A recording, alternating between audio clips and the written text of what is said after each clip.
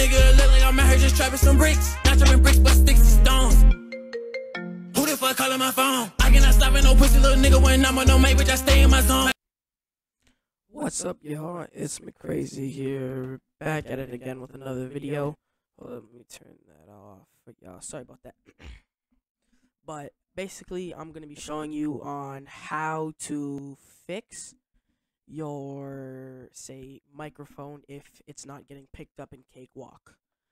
So first things first, you're here, you're at your inputs. Mine is to my microphone right now. But say it's like not here and it's coming up as like your webcam audio, your headset or something like that, and you're trying to fix that. First things first, you would want to check everything that involves your devices. If it's here and it's not putting up in your device settings, uh, then that's the problem. But it's an easy fix. You basically got to go into your um, uh, preferences. You got to go to audio devices. You're most likely going to have friendly name or device names. You got to go to your input.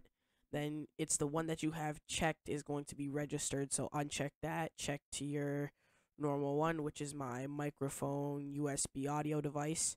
Click that, hit apply. It's going to close, open back up, hit close, and then boom. So this is it on my microphone. But if I go here, change it back to that. Sorry. This is that on my webcam.